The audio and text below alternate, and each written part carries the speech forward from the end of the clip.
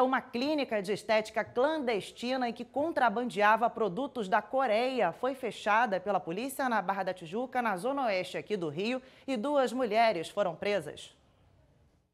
Pelas redes sociais, Jusilene Gama Guzmão se apresentava como biomédica e era responsável por fazer diversos procedimentos estéticos em uma clínica na Barra da Tijuca, na zona oeste do Rio. Mas, segundo a Polícia Civil, ela não podia exercer a profissão porque não tinha registro. Na última terça-feira, ela e a prima, a dentista Marcele Gama de Sá, foram presas em flagrante. As investigações começaram a partir da denúncia de uma cliente que teve problemas no rosto depois de fazer um procedimento estético na clínica. A vítima desconfiou da procedência do material e procurou uma delegacia. No local, as equipes encontraram produtos não autorizados pela Anvisa e medicamentos fora da validade.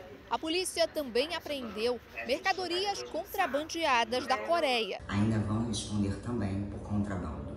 Revendia esses produtos para clínicas de estética nas cercanias, praticando também crimes de descaminho, exercício ilegal da profissão e ainda crime contra a ordem tributária. Em Madureira, na zona norte do Rio, outras quatro clínicas foram interditadas. Em uma delas havia medicamentos proibidos pela Anvisa desde 2002, usados de forma irregular para reduzir gordura localizada. Em outro estabelecimento, os agentes encontraram uma câmara de bronzeamento artificial que usa substâncias condenadas pela Organização Mundial da Saúde.